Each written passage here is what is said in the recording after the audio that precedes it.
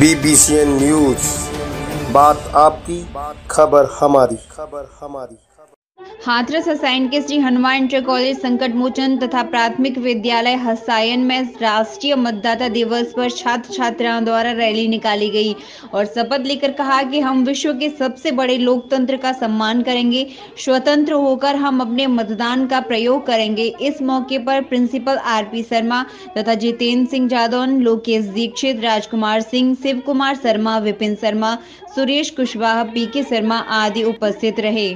BBCN news. प्रधानमंत्री से नाता है।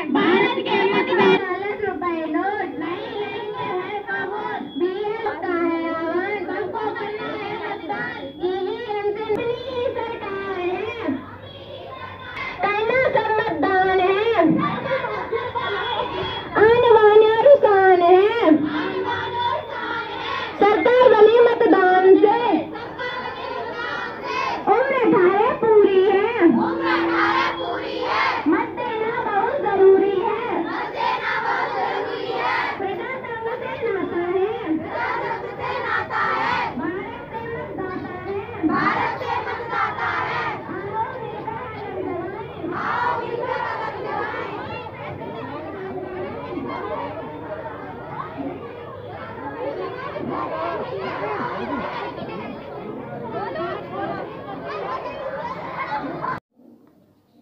ये राष्ट्रीय मतदाता रैली के बारे में बच्चों को क्या जानकारी दी है? क्या बताएँगे इसके बारे में? क्या जानकारी देंगे आप? ऐसा है कि राष्ट्रीय मतदाता दिवस है आज 25 जनवरी को। ये हमारे पूरे भारतवर्ष में मनाया जा रहा है। और ये जिलावार वहाँ जिलाधिकारी महोदय ने मीटिंग भी ली थी। तो हमारे सात ब्लॉक हैं। सातों ब्लॉकों में ये ब्लॉक स्तर पर, तहसील स्तर पर और जिला स्तर पर आज का कार्यक्रम है। तो यहाँ ये हनुमान इंटर कॉलेज हसायन, जिसमें मैं आर पी शर्मा प्रधानाचार्य हूँ, मुझे और हमारी जो ब्लॉक प्रमुख हसायन हैं, उनको प्रभारी यानी प्रभारी नियुक्त किया है। तो यहाँ आज बच्चों ने रैली निकाली है, लोगों को जागरूक किया है। मतदान के लिए कि जो 18 साल के बच्चे हो गए हैं, वो अपना वोटर लिस्ट में नाम बढ़वाएँ और मताधिकार प्रयोग सब करें। क्योंकि स्वतंत्र हैं सभी, कोई किसी के दबाव में नहीं है, न किसी के लालच में आना है और सभी मतदान का प्रयोग करें वोटर लिस्ट में अपना नाम बढ़ाएँ।